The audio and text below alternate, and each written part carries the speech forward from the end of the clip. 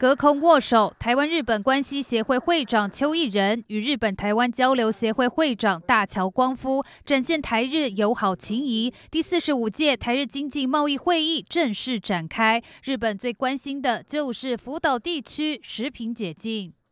日本産食品の安全性は科学的に証明しており、されており、さらに台湾が米国のように輸入規制を撤廃しても。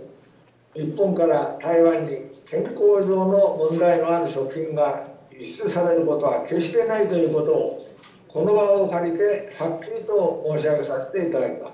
的了解是没有时间表，因为就是说会不会谈也不知道，因为这个还要再去磋商。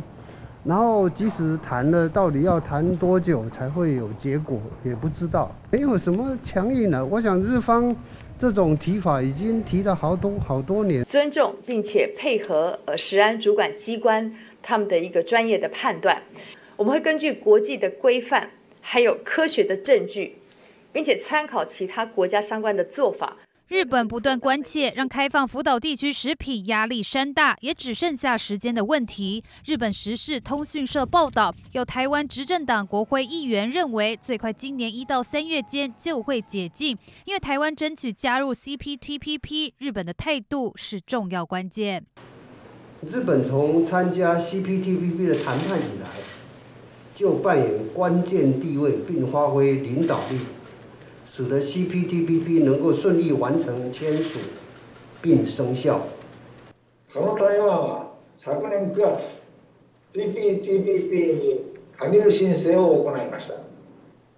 我々は台湾が CPTPP への加入申請に向けてさまざまな取り組みを行ってきたことを承知しており、そのような台湾から加入申請が行われたことにつきまして、日本政府も虽然日本表态欢迎台湾加入 CPTPP，不过恐怕开放福岛食品就是关键因素。而主管的食药署也强调，会依照国际标准严格把关，台湾的食安跟经济持续拉锯。